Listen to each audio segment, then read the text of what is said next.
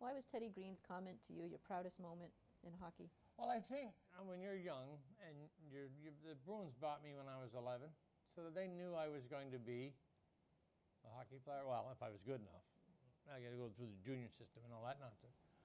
But they brought me up at 18, and I, phew, hit twice as hard as I, I've ever been hit in my life. And that's 16 league, and I said, my God, they're all good. So I went back to junior. And I humbly went back to junior. I didn't have a problem with that. And then I came up for training camp and back down. And then it's really a struggle to make. They are really good. I mean, they're very talented. And Teddy Green was exceptionally tough. And we had a go around in the first day of camp, first scrimmage day of camp.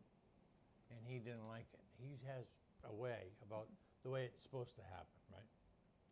So Greeny says, we didn't talk. And we kind of went at each other.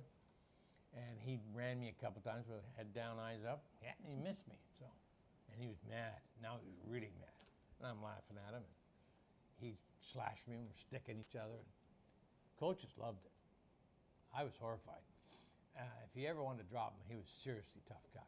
So, uh, I think about maybe the fourth exhibition game we played in Montreal. We had a knock him down drag them out brawl, and because it was exhibition. And kind of the idea was we are going to be tougher than they were because they were very good, very fast.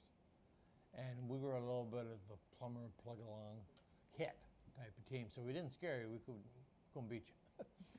so uh, in this brawl, I had a couple of fights, and I was really tired. You're still not in shape, and I couldn't lift my arms anymore. And uh, you know, Teddy Harris is you center ice, point to center ice. Everybody in the building sees it, right? So he's calling my bluff. Ooh. And Teddy, tough guy. So he's six foot four, and I found center ice with him. And he said, I, you know, out of nowhere, I passed, a guy grabs my, my shoulder, and it's Teddy. He said, you want him, you got me. And he said, no, I don't want anything to do with you, Teddy. He says, you do if you got him. And that was it. That's when you know you belong.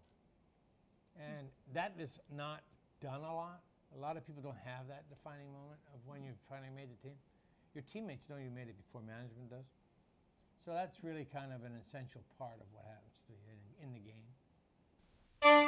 This excerpt is brought to you by the Massachusetts School of Law, the leader of reform in legal education and a leader in multimedia education for the public. View the full interview and for a full listing of MSL's programs, log on to mslaw.edu.